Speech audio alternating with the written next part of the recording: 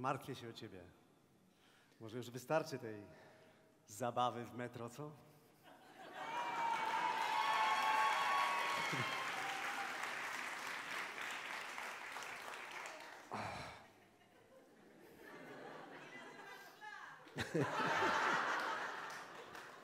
No, ja lubię to, co robię, tak się składa, wiesz, i tak. No, Marnujesz się, twoje miejsce jest na scenie. no, też mówię, że tak.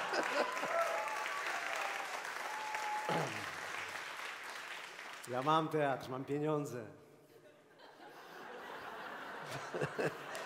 Brzmi, brzmi ciekawie, tak. Naprawdę? Ja wiem, ty myślisz, że ja ciebie wtedy zdradziłem. To były inne czasy. Teraz wszystko się zmieniło, możemy znowu pracować razem. I weźmiesz nas wszystkich?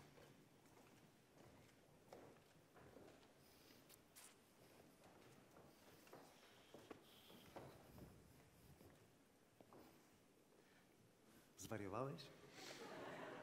Utrzymać taki zespół w dzisiejszych czasach? Nie to mówisz, ale...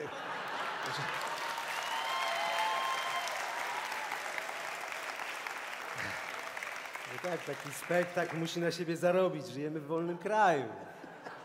Tak, już 25 lat. Dzisiaj dokładnie przypada rocznica. No, co? Jak się nie sprzedajesz, to cię nie ma.